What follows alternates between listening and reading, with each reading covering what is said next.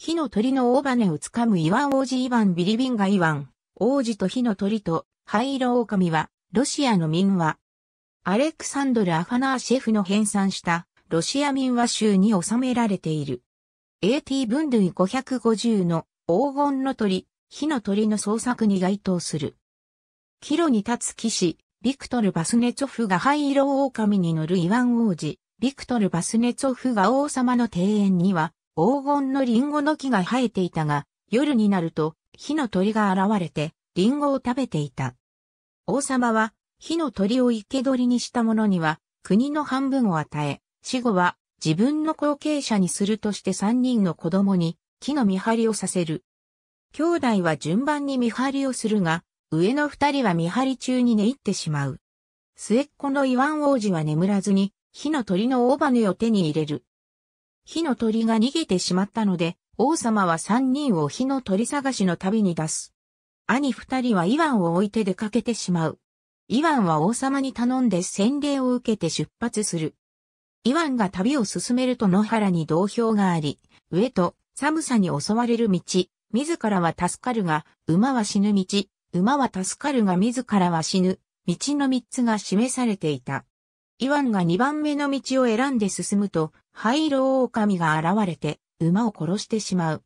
イワンが悲しんで歩いていると、先ほどの狼が現れて、馬の代わりをするという。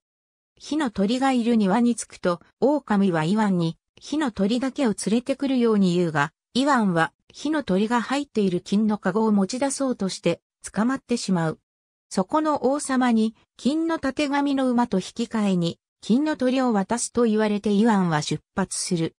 金の縦紙の馬のいる馬小屋に着くと、狼はイワンに馬だけを連れてくるように言うが、イワンは金の靴輪を持ち出そうとして捕まってしまう。そこの王様にエレーナ姫と引き換えに馬を渡すと言われてイワンは出発する。